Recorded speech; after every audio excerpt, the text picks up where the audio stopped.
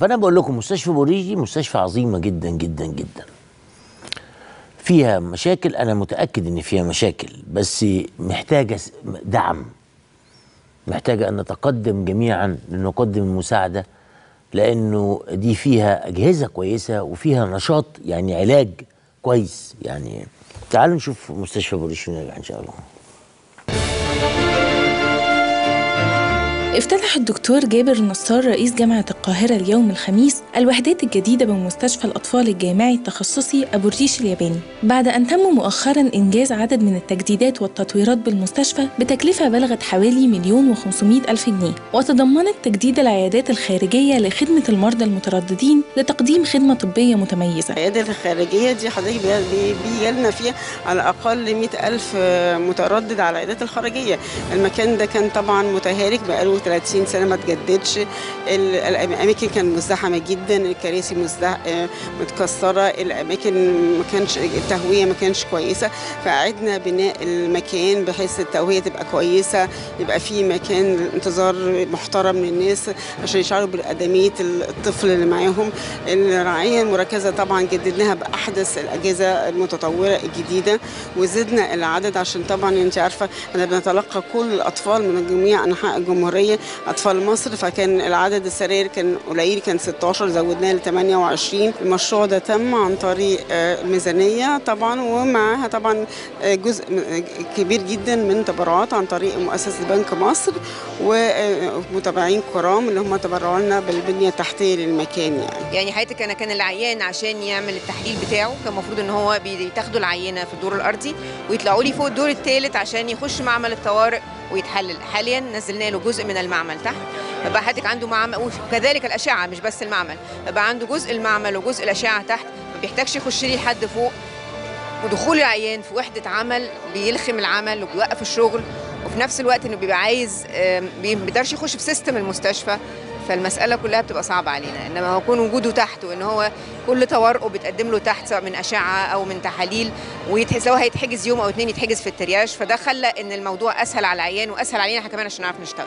إحنا مش بس في جامعة القاهرة آه، إحنا يعني فعلا مغطين أقسام كثيرة في آه، مستشفيات جامعة القاهرة لكن برضو بنساند جامعة عين شمس آه، أسيوط الزقازيق آه، أسوان فلنا آه، مساهمات في آه، هذه المستشفيات.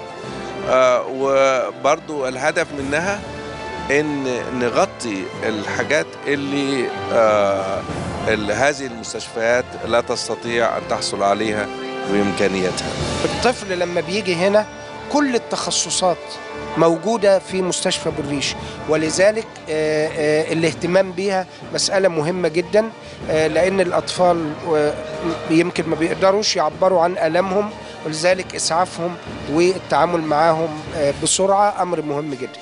إحنا بنشكر بنك مصر وبنشكر المتبرعين اللي ساهموا معانا في يعني تحديث هذه المستشفى. وإحنا دايما بنعد إن إحنا نكون في خدمة الناس ونقدم لهم خدمة على مستوى جيد. كويس قوي يعني كل المؤسسات ال- الاقتصادية لازم تعمل كده زي بنك مصر. يعني ده لازم يتعمل باستمرار. نبقى المؤسسات بمساهمة أفراد أيضا كمان. نعمل جناح في مستشفى مش عارف إيه بتاع الدور في مهنة يعني دي مسائل مهمة جدا بتتعمل بره في كل حتة الدول الكبيرة بيحصل الكلام ده. مهم جدا جدا جدا. نحيي الدكتور هلا فؤاد دكتور جابر نصار. عامل على فكرة نشاط كويس قوي في الجامعة وعامل نشاط ثقافي وتبادل مسرحي وهيعملوا مسارح في مسرح ال- الجامعة. إحنا عندنا مسرح جامعة عظيم وتاريخي يعني حضر عمل اتعمل فيه ياما حفلات. كثيرة وحضرها الرؤساء وحاجات مهمة جدا حصلت في آه، آه، آه، جامعة القاهرة في المسرح الكبير بتاعها قاعة كبيرة وعظيمة جدا وليها تاريخ طويل يعني. فنحب جدا إن إحنا نروح نتفرج على عرض مسرحي نشوف الطلبة موجودة في المسرح القومي وده ده مهم جدا جدا. بعدين الطلبة بتوع جامعة القاهرة يروحوا يعرضوا في سيد درويش وبتوع جامعة اسكندرية يجوا يعرضوا في جامعة القاهرة. وبتوع دمنهور يعرضوا في دمنهور ويعرضوا في القاهرة وبتوع القاهرة يعرضوا في الأوبرا اللي في دمنهور. إذا كنت عايز تبني يلا. ما تفتكرش البنى بس أسمنت ومسلح وطوب لا. دماغك ديت. ده أنا عملت اختبار دلوقتي لزمايلي اللي بيشتغلوا معايا مش المعدين لا. يعني زمايلي مش هقول أساميهم عشان ما أفضحهمش. ولو إن أنا أحب الحاجات دي إنما ما- يعني ما فيش داعي. بقى كفتة. ما فيش حاجة خالص. الدماغ دي لازم تتملي. انت بقى الدماغ ديت ربنا اديها لك واداك مخ يعني عبقري. انت بقى تملاها يعني رز ومحشي وحاجات زي كده. ماشي انت حر. تملاها يعني بتنجان ومخلل وكده برضه ماشي انت حر. تملاها حاجات كده كده ماشي.